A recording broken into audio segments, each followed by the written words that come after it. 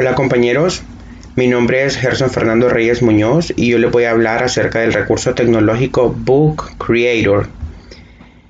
Para empezar, pues lo vamos a buscar en nuestro buscador, ya sea Google, Chrome o ya sea Mozilla o el que ustedes tengan. Y vamos a poner este, este bookcreator.com. Una vez entremos, esta va a ser la portada que nos va a mostrar la aplicación. Es una aplicación gratuita para crear eh, libros online, los cuales se pueden descargar y podemos utilizarlo a cualquier nivel educativo, ya sea media eh, o a nivel universitario.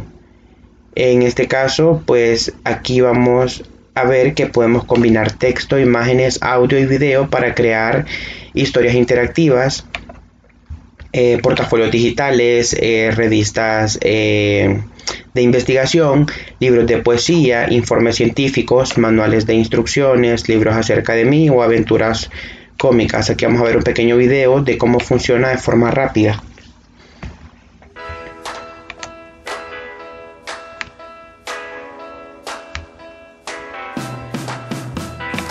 Para empezar, podemos ver que es eh, fácil poder entrar. Eh, una vez nosotros tengamos cuenta, la cual la, podemos enlazar con nuestro correo de, Gmail, eh, y damos iniciar sesión, nos sale esta opción, nosotros seleccionamos soy el maestro.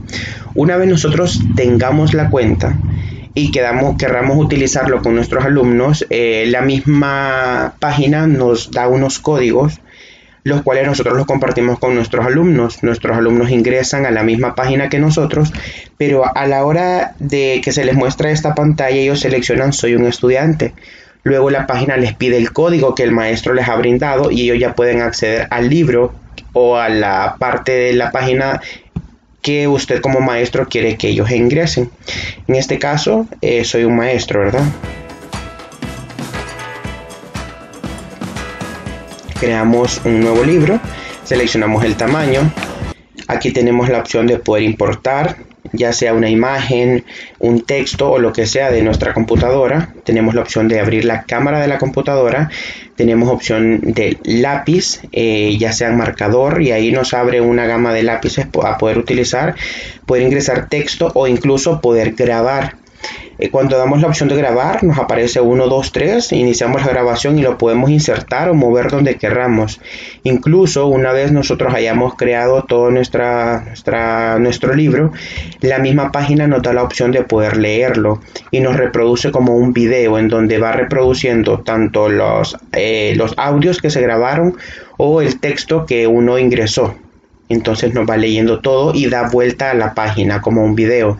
Cabe mencionar que una vez creado se puede descargar el link, compartirlo por correo o incluso poderlo descargar en la computadora como un pequeño video. En este caso se agrega texto, puede ser el título de nuestro libro. Podemos poner este tipo de stickers para hacerlo dinámico tenemos cómics, ajá. Podemos ingresar cualquiera de estos y hacerlo divertido. Aquí es donde empezamos a grabar para poder poner un audio.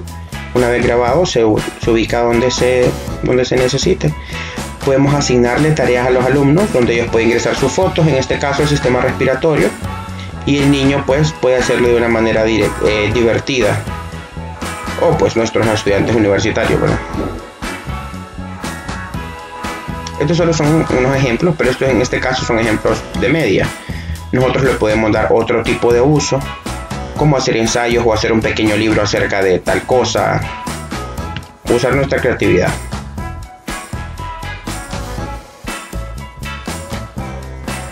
Ensayos, informes. Y una vez terminado el libro, pues la página nos da la opción de poder compartirlo, descargarlo o incluso poder imprimirlo de una vez. En este caso se publicó. Pues lo podemos ver online o podemos copiar el link para compartirlo y que nuestros alumnos, en este caso, lo puedan visualizar. Podemos insertar videos.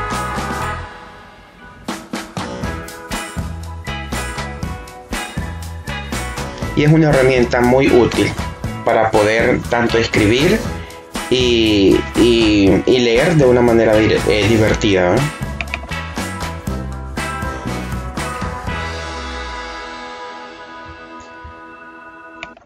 ok. Entonces como vamos a ingresar a la página le iniciar sesión. En este caso pues yo yo ya creé mi cuenta con el correo porque le da la opción de poderlo abrir con Google con Gmail perdón. Y aquí pues ya le damos el nuevo libro. Seleccionamos el tamaño que queramos. En este caso voy a seleccionar cuadrado. Y aquí en este signo más nosotros podemos ingresar ya sea poder importar como les dije cámara lápiz texto o grabar. En este caso vamos a importar una imagen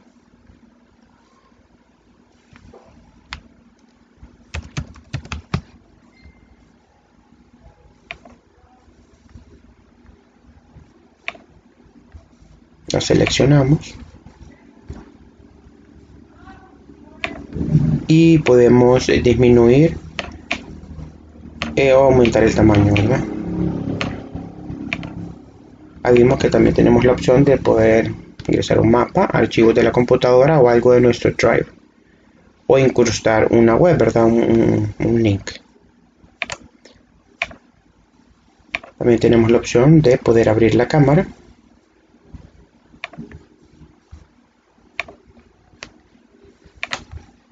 y la opción de lápiz que les mencionaba. Tenemos pintura, crayola, marcador y podemos hacer lo que queramos.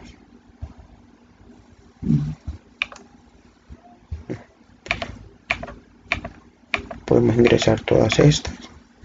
Podemos elegir el color que queramos. Y ahí está. Comenzar a dibujar. Tenemos el borrador por si nos equivocamos en algo. Podemos ingresar algún tipo de sticker.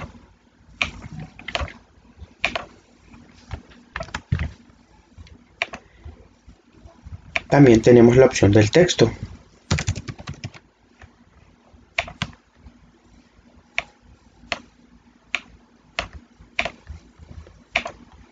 Y también pues podemos grabar le damos a comenzar a grabar.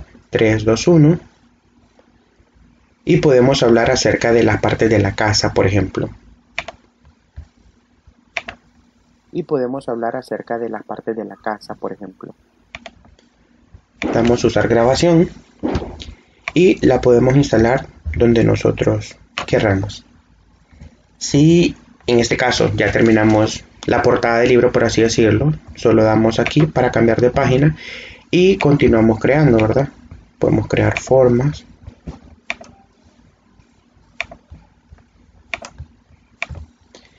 Y de esta forma pues podemos asignar a los alumnos lo que nosotros queramos. Aquí está la opción de poder visualizar el libro y está la opción de leerme, en la cual has llegado al final del libro. Él reproduce todo como un video. En este caso podemos ver así. Y podemos hablar acerca de las partes de la casa, por ejemplo. En este caso no tenemos más. Al final del libro. Porque solo es una pequeña demostración.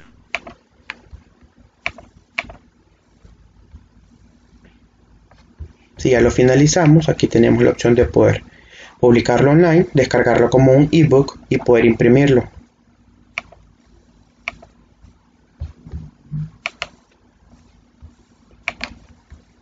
Y una vez nosotros creamos varios libros tenemos la opción de aquí. De igual forma poderlo hacer de acá ya sea reproducirlos o poder eh, compartirlo verdad en este caso publicar online descargar como un ebook o poder imprimirlos. Importar libro moverlo a biblioteca copiar libro o combinar libros. O incluso eliminarlo Aquí nos mostraría en todo caso si tenemos más libros. Y pues es una herramienta muy útil que nos puede servir para hacer las clases más interactivas y dejar asignaciones a nuestros estudiantes de una forma diferente. hay formatos de libros que podemos encontrar y pues si queremos aprender, ¿verdad? Acerca de la de esta herramienta.